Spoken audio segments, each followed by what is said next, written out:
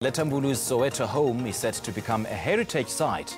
House number 1670 Molahloe Street, Orlando East, Soweto, is where one of South Africa's foremost music luminaries was born and raised. On September the 24th, the house will be honored with the Johannesburg Heritage Site Blue Plaque uh, from the Heritage Ways in partnership with the City of Joburg Immovable Heritage Department and the Johannesburg Heritage Foundation. Tshenolo Mokhele, the heritage researcher and strategy developer at Heritage Ways, based in Soweto, joins me now to share more on what this means. Babe, very good morning to you and welcome. Good morning to you. So, for the, some of those who may not really understand the technicalities, what does a heritage site blue plaque mean? The Heritage Site Blue Plaque it's a city-wide uh, program where the city honors particular sites that are of importance in our national uh, estate. And sites of that magnitude, they are then given a blue plaque as a sign for preservation. So a blue plaque represents a preservation of a site so that uh, in future people can know that this site is one of the city's heritage. So okay. it represents that. So of all the homes in Soweto, uh, what, how did you arrive at the decision to choose uh, Ma Letta Mbulu's home? Mama Letta Mbulu, it's part of our national estate. Yes. And as such, her home needs to be conserved for future generations. But also what is important is that the National Liberation Route project of the government seeks to honor heroes and icons of the past, but also heroes that are living.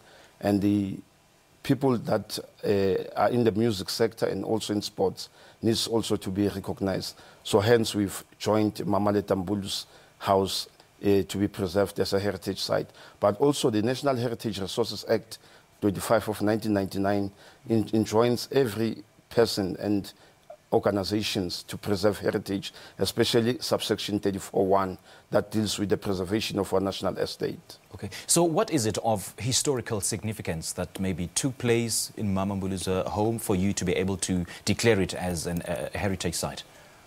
The house was constantly under surveillance okay. by the special branch in times past, but also right. it's a site of importance because when Mama Letta Mbulu brought her son, Mosese, into in, in, South Africa in 1981.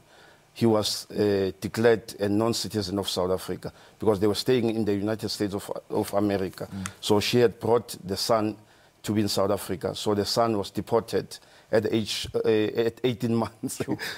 so the, the, the, special branch came to the to the house and said Mosese cannot be a South African citizen because he's, uh, he's American. So within 24 hours, Mosese was taken out from the site. But also in 1976, uh, the students who were uh, uh, uh, canvassing for the uprisings, they used to converge at Mama Leta's house singing the song Chikichela Ngamache. They were inspired by the song Chikichela Ngamache. And how did she receive the news that her home would be turned into a heritage site? Mama Mbulu, yeah. she's very excited. She's humbled. She, she's out of this world. And one thing that about her is that she's greatly honored to have this bestowed on her.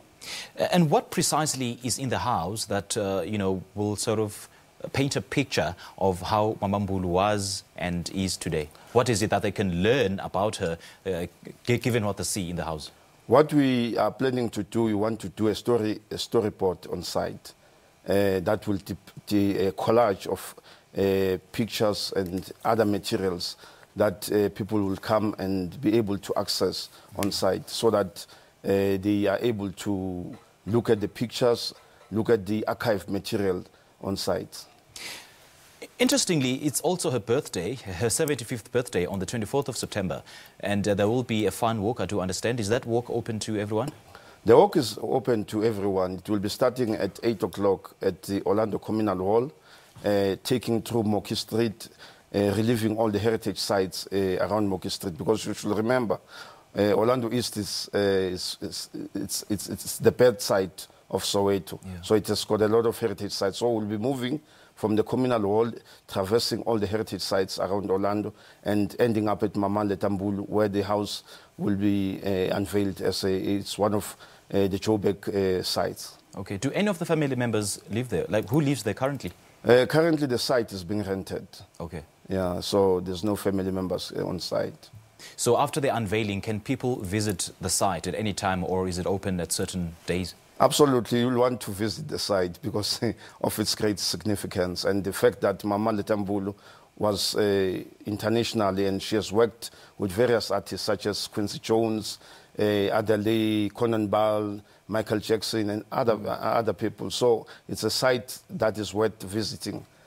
Okay. Remind us again of the address. Where is it Soweto? It's 1670 Molahloe Street, Orlando Yeah, East. Orlando West. Okay. Orlando East. Oh, or Orlando East. Yeah. All right. Baba, thank you so much for your time. Hey, we appreciate it. Thank you so much. Much appreciated. Indeed.